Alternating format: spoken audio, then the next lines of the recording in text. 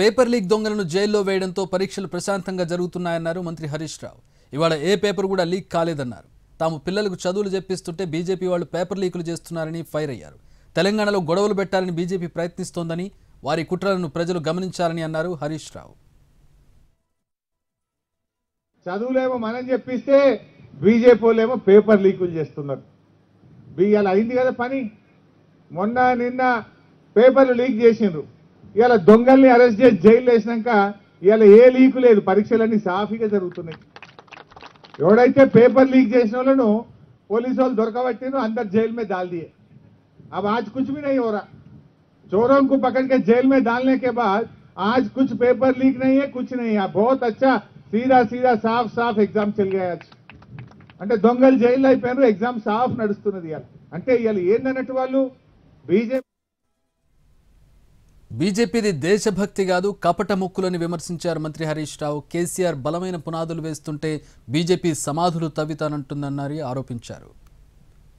BJP ఏమంటాడు? సమాధులు తవ్వు. సమాధులు తవ్వమంటాడు కేసీఆర్ ఏమో బలమైన తెలంగాణకు పునాదులు వేస్తే బీజేపీ వాడేమో సమాధులు తవ్వు అంటాడు. మసీదుల గురించి మాట్లాడతాడు. రాముల వారి గుడి గురించి మాట్లాడతాడు తప్ప గరీబోలకు సాయం చేసే దాని గురించి మాట్లాడాడు ఏదో వీళ్ళే వచ్చేంత చేసినట్టు. చేసి మనం చేయమా పూజ? బరాబర్ ఇలా ఇవాళ హనుమంతుడి యొక్క జన్మదినం. పొద్దున్నే నేను కూడా హనుమాన్ల గుడికి పోయినా మంచిగా బ్రహ్మాండంగా పూజ చేసి మొక్కి అందరూ చల్లగుండాలని మొక్క మొక్కమా మనం? కానీ వీళ్ళకి ఏంటంటే ఆ మొక్కుడు కాదు అంత కపట మొక్కుడు.